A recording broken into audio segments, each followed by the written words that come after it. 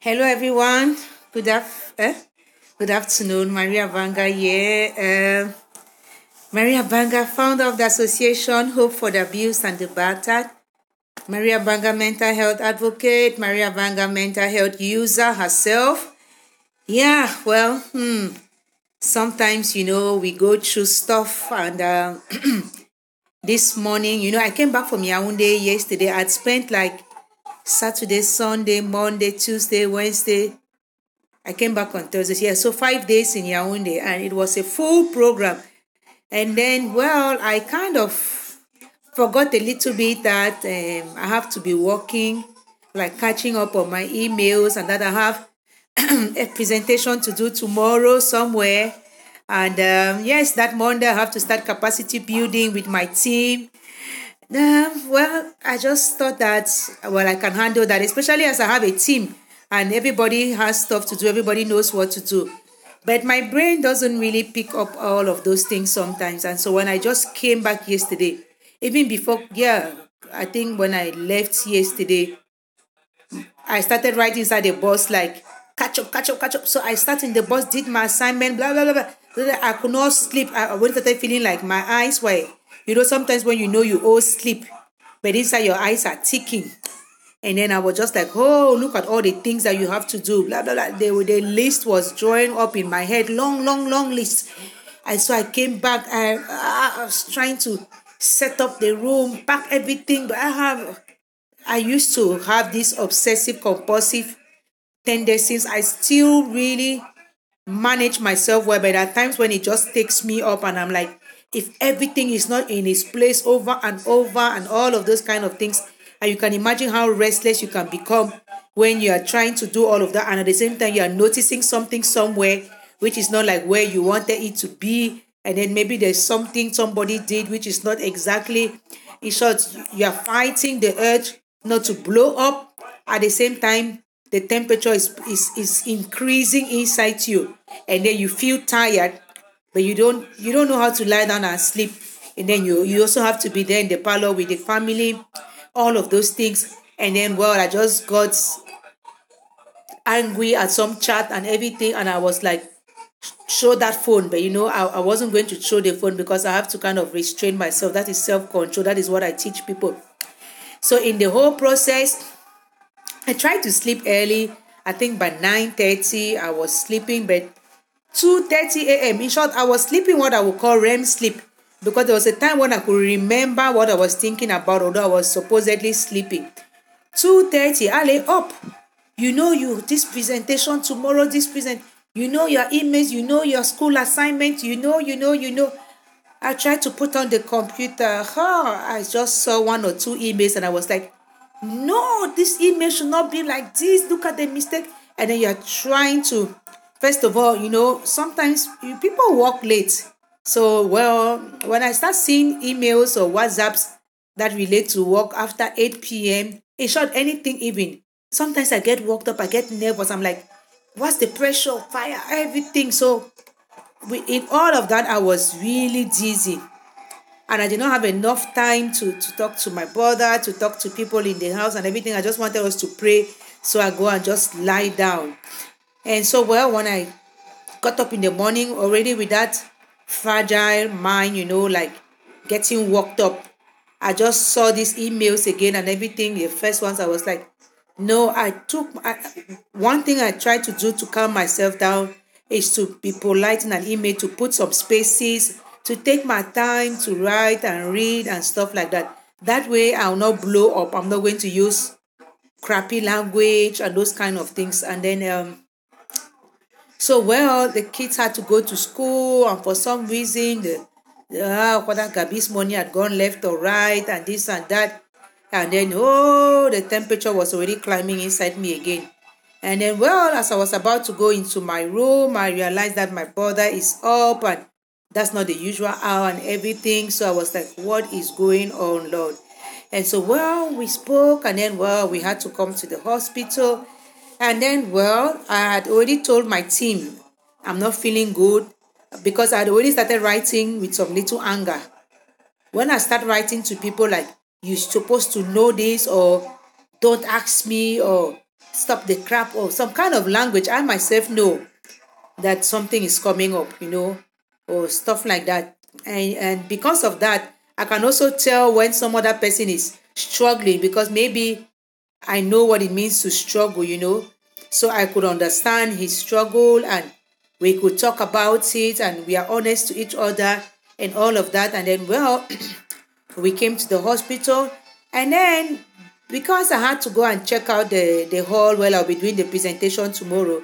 And I know that one thing, it is a bit conflicting. You need to rest. But at the same time, if you lie down, the temptation may be to just stay you there in your bed. And when you stay there, you may also isolate yourself more. Frankly speaking, this morning I didn't want to talk on the phone. A friend was calling me I know to check on me, but I didn't want to pick up the call. I didn't want to pick up anybody's call. You know, for me, writing is the most I can do. Talking is a bit too stressful, and then you may have to start explaining something you don't think somebody can really understand. You know, sometimes, even when somebody has physical illness, I don't even know why we separate those things. But sometimes when your head is aching too much, somebody is calling you to ask you, oh, wait till happen, blah, blah, blah.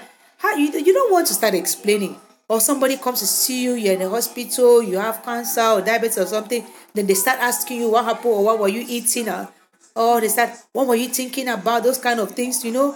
If it's a doctor, you know, yes, they're asking those questions to help you.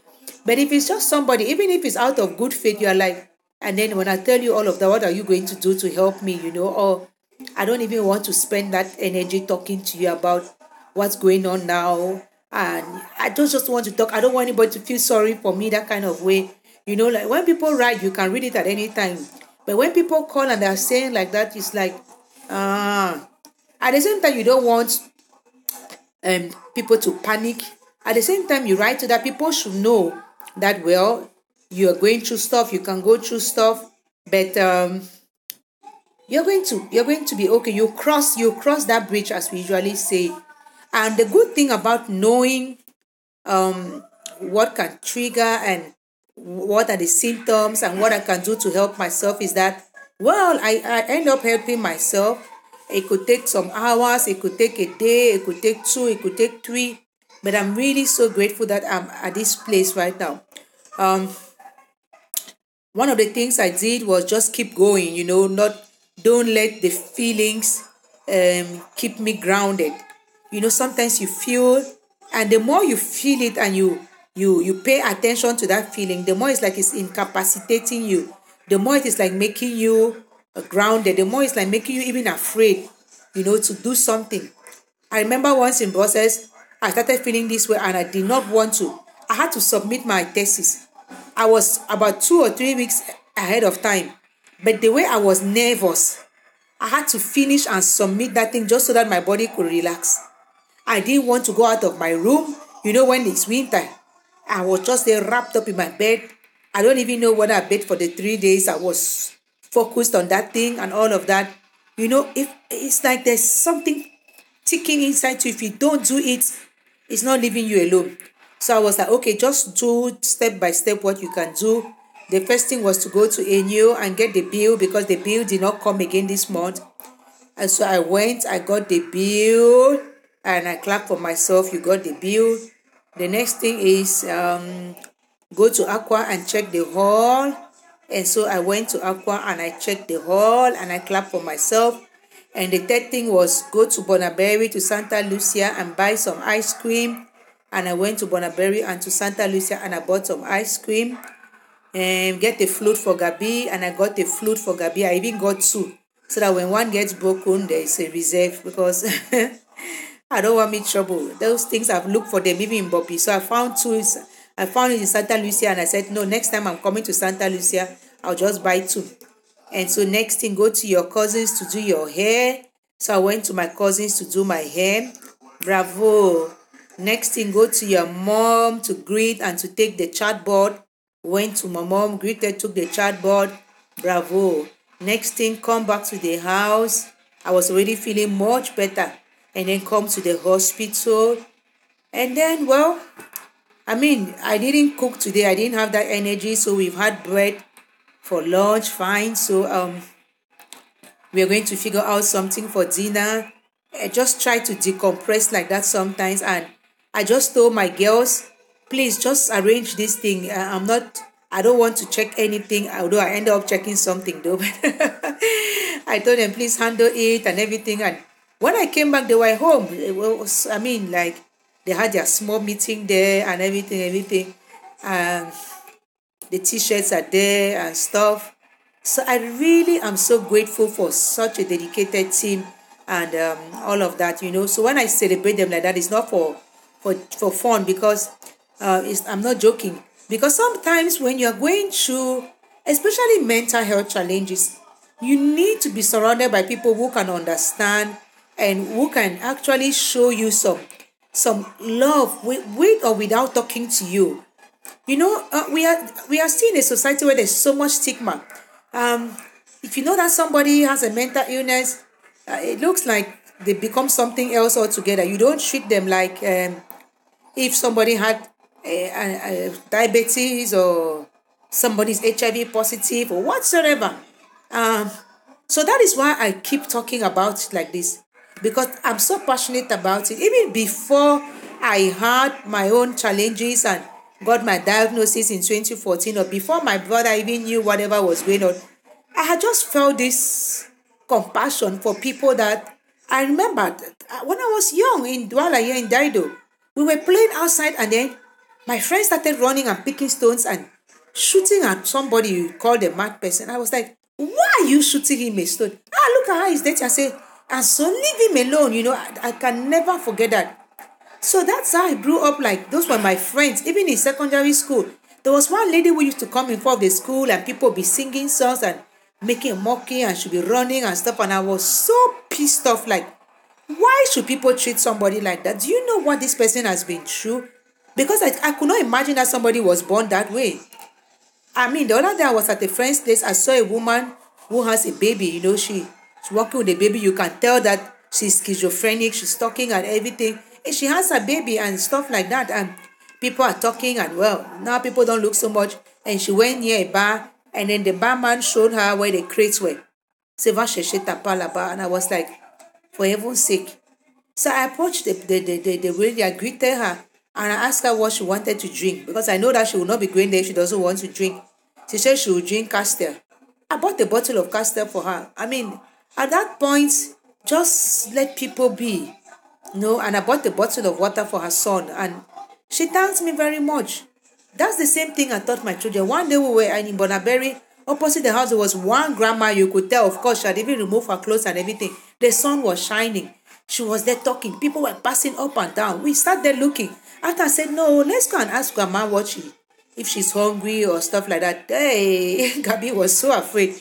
When we went, you know, and we got some water and some bread and he went gradually and he gave it to her and she was grateful so that's how gradually i i teach them you know and we don't wake at home i mean it's it's been family from the very beginning like what's there to be scared about seriously what's there to be scared about you know people like oh you know the fear what that's my brother that's that's my own brother if he was alive today he was he would be about that age. Am I going to show my brother out? Why wouldn't I show love to my brother? Why wouldn't I show love to another human being? I'm looking forward to spending the first anniversary of my association in the psychiatry ward at Laquintinie. I have to go and meet the director next week to see if it's possible and stuff like that. Just go and be with them. I've been there. I know what people go through. And yet a little love like that goes a long way. It really goes a long way. You know me today, not only did I know how I can help myself, but some people commented even just the Asia and the this and that, and then the one word on WhatsApp. All of those things, that is support. And so when we write like that, it's of course because we are counting on that kind of support. Even if it's just from one person, it's very important. So it doesn't need to be a crowd, you know, and stuff like that. And if nobody does, the writing is also therapeutic. It's like liberating. And then one of my sons sent me pictures you know, taking during his show.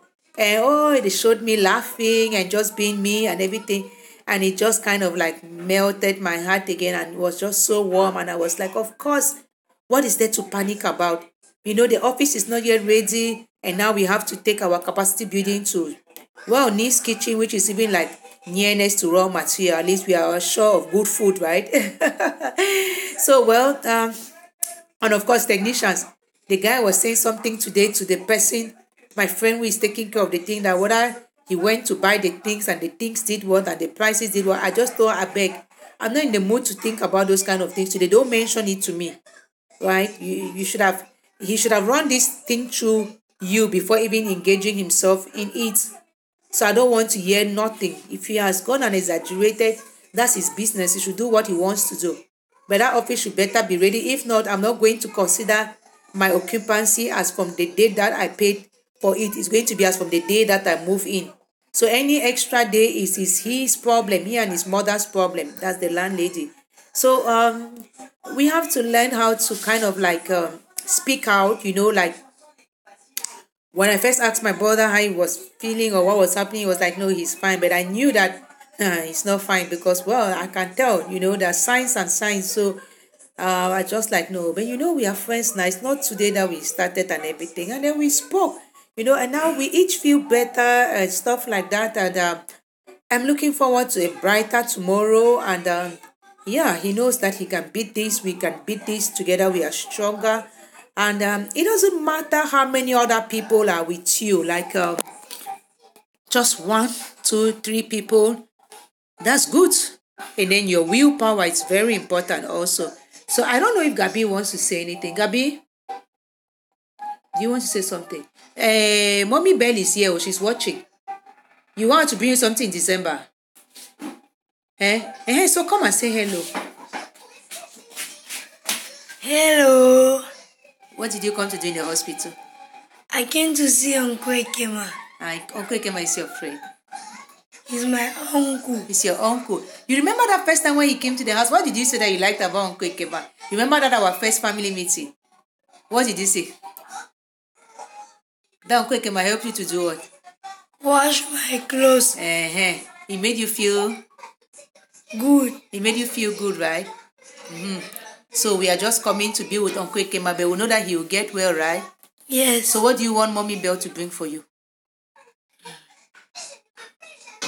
A shoe. Hey, Mommy Bell. Okay, well, we'll write to her and send you her size. Send you, send her your size, right? Okay, go and watch your nickel done. The light was off. No, don't put it off. Uncle Ekema should put it off. No, is that, is that table that put it off on? Who put it on? the table. He pushed ah, like when he was standing here. Yes. We should leave it like that. It should be like that. Mm, okay. So how are you feeling now? I'm feeling much better. Wow, we thank God, right? So we'll just continue us like that now. Yes. You want to say hello to my friends? Sure. Okay. So this is Uncle E. Hello, Uncle E. How are you? I'm I'm much better. You're much better. Yes. So what's special? What's different this time around? Well, the dif- the difference around this time around is just that I'm in a different different environment and I've taken the first the first doses doses Mm-hmm. of the drug. So I'm waiting for the second dose. I'm much not really much better, but the mind's the mind really worries. And what about the, the treatment here between the difference between here and La Laquintinie? Well, the treatment here I've just started today. Uh-huh. Yes, but Laquintinie is different because you first be confined, then before you be sent to the ward. The first put you where? You'll be confined. Ah, in that place again, how do we call it? Call it a cabano. in the cabano. Uh-huh. Yes. Ah, and then the nurses there, how are they? Is it the same thing here? Well, the nurses here, I've just I've, I've just met one one nurse. Yeah, even that one person. know, she's she's calm and she's good. Mm. And me, am I the same person? Yeah, you are the same person. okay, so what do we tell our friends? well, we'll tell you. how can they do to help somebody, you know, who is going through a crisis or stuff like that? Well, to help somebody who is going through, through a crisis is just to assist the person mm-hmm. and try to not not make, when the person feel not make the person to feel neglected mm-hmm. or or stigmatized and mm-hmm. just try to make the person much better. Uncle Kema, I want to ask you one thing, right? Um, this morning when you woke up and you wore this your nice clothes like this, what did you want to do?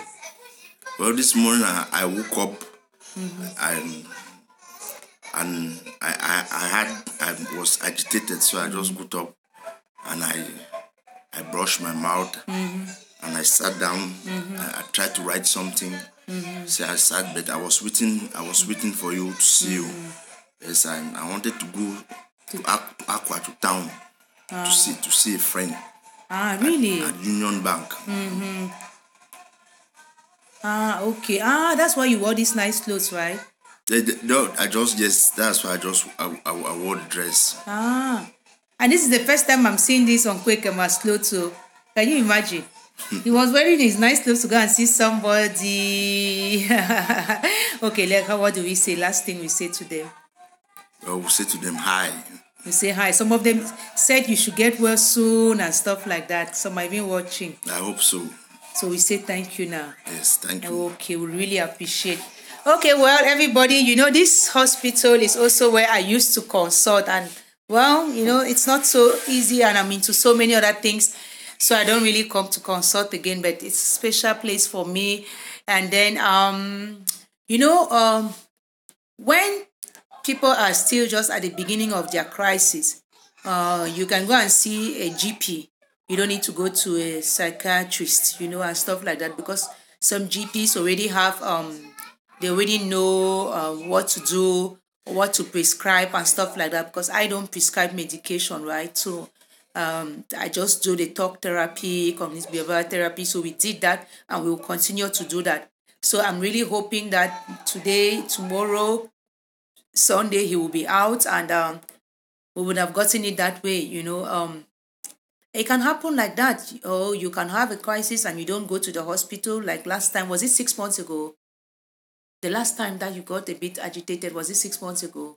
No, it was it was it was seven months ago. Or seven months ago? Yes. Okay, well, so you see, but you didn't go to hospital. Remember, Yeah, you I just did. managed I it at home. managed. So I think this time around is because I was not there to notice early because he say he has been feeling this way for like two weeks, right, Uncle Ekema? Yes. Mm-hmm. So you see that is also something that you kind of like you fight it a little bit inside you. But me, the I, I can say the good thing is that I don't keep anything inside me to fight it. As soon as I notice the least symptom, the least trigger, I'm putting it out there. I'm beginning to fight. I'm like, quick, quick, quick. So, well, I just got a prescription for myself for my colleague. I was like, if I need some anti-anxiety or anti-depression or something, no, I was not depressed, but you know, to calm down a little bit. But fortunately, I'm not going to get it right. So that's how it is. It's it's not like um, you need to go nuts and remove clothes and everything and walk on the street before people say, oh yeah, well you are mentally ill, so we can help you. No, sometimes you just notice something. Somebody gets up when they, they're not used to getting up. Somebody sleeps too early or too late. Somebody doesn't bathe for two, three days. Somebody bathes too much. Somebody eats. Somebody doesn't eat. You need to know your person. And then, well, you will know that. Gabi, can you know what that volume a little bit? I'll be finishing soon we don't have TV. So when my boy comes and sees TV like this, he's not going to leave that TV alone. but I promised them a TV for Christmas. Okay, anyway. So that's what I was saying that um we need to know our person and people can be triggered by anything, you know, trauma, violence, abuse, and uh, you know, anything can trigger somebody. And when the brain has taken hits and hits and hits in life, something small like this that will not trigger you is going to trigger that person. You know, like you can say move to one person and they're looking at you are laughing and going. You say move to another person, that's a big fight and a knife is going to come out. You say move to another person, the other person will also say move. You, it's people behave differently. Our brains are wired differently, you know, and um, our environments are different. You just heard now where he is is different from where he was before. If you are somewhere where they would lock you up, that can even make you worse than if you are where well we just like okay well it's another experience it's another crisis another situation it's going to pass just like myself i know so uh, if somebody is going to treat me differently because i'm not feeling too good today or i was not feeling too good because i'm back to myself now right? That's the person's problem. So we need to understand that when people go through mental health challenges or when people are mentally ill, it doesn't mean that they are lost cases and you have to lock them up you have to chain them, you have to confine them and stuff like that. Sometimes people don't also want to speak up because they are afraid or they're worried about how you are going to react and if you are going to start to stigmatize them or you are going to, you know, hold family meetings to decide on them without asking them. Okay, did we discuss about coming to the hospital together? Yes, we discussed. And I even told you different hospitals we could go to, right? And you're the one who choose, right? Yeah, you, yeah, you just say we start. Yeah. Yeah. So, you know, sometimes, especially when the person is still kind of like alert like that, it is good to involve them in the discussion. Even if there's some things they say which don't make sense to you, it doesn't matter. It is just good when the person feels like, well, my opinion counts. It's about me, yes. Uh, I bet I I have to say something, or they are asking me and stuff like that. And for example, I did not know that Uncle Kema will want to talk to somebody on the phone. I thought he should need to sleep. But he himself took his phone and he, he called his brother and they spoke. So it's like are things when you, you don't also know everything, you know, but just let them feel free. So I didn't take the phone away from him to keep it like, no, you have to sleep. I was like, through it all, he also needs to process some of the things that have been popping up again and that have been getting getting him kind of like worked up. Just like me myself, I have to process some of those things and realize that well, the things I cannot change, I cannot change them. So it would be best to find solutions instead of focus on the things that are not working or the things that I've not yet done, you know, panicking over things I'm not even sure about tomorrow, about the next hour. So why will I want to get into 2020 before 2020 is here? Those kind of things. And I don't think I'm the only person who has that kind of brain that beats around so much like that. And somebody once wrote on Facebook asking sleep if they were fighting.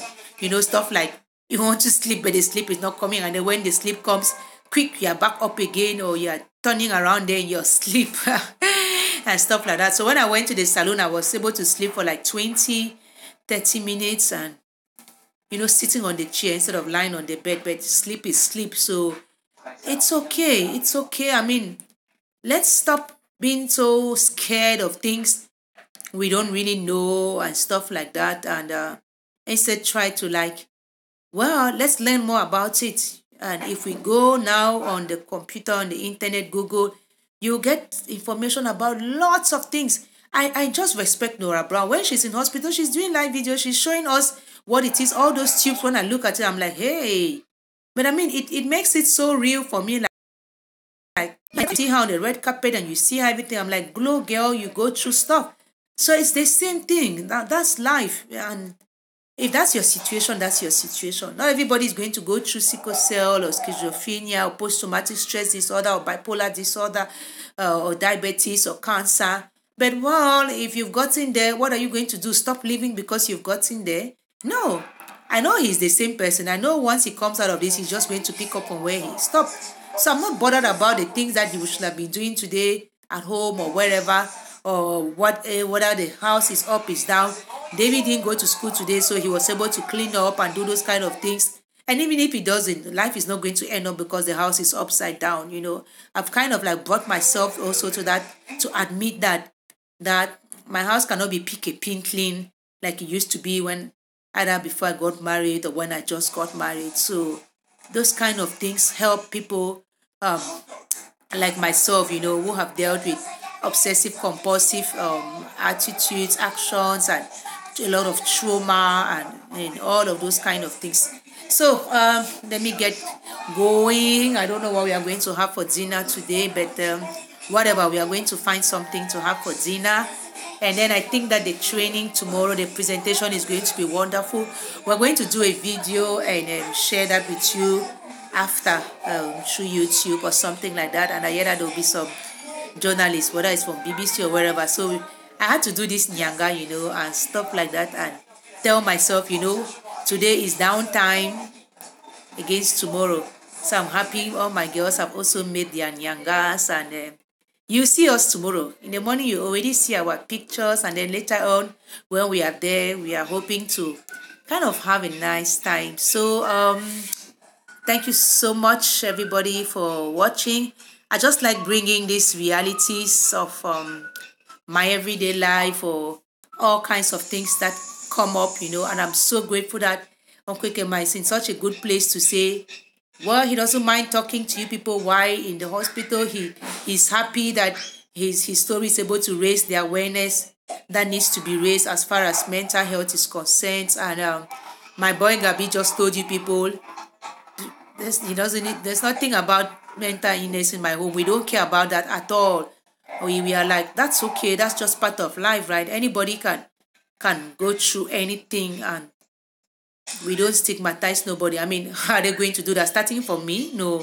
So that is it. Tomorrow, if they grow up, they meet somebody, or it's a partner, or it's anybody who's going through any mental health challenges or mental illness, well, they're going to support the person, they're going to show compassion, they're going to love the person through it. And that's just all what matters. And for me, it's more important this way.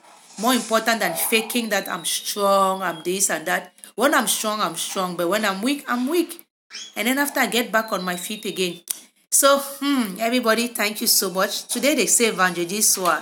Well, my Evangeliswa is usually just sit, eat, um, pray with my guys and everything. Well, we'll have TV very soon, at least. There will be some TV watching too. okay, have a wonderful weekend. Thank you so much, everybody who joined. Don't hesitate to share, to raise the awareness and stuff like that. Take care of your own um, mental well-being too it really matters and then god bless us all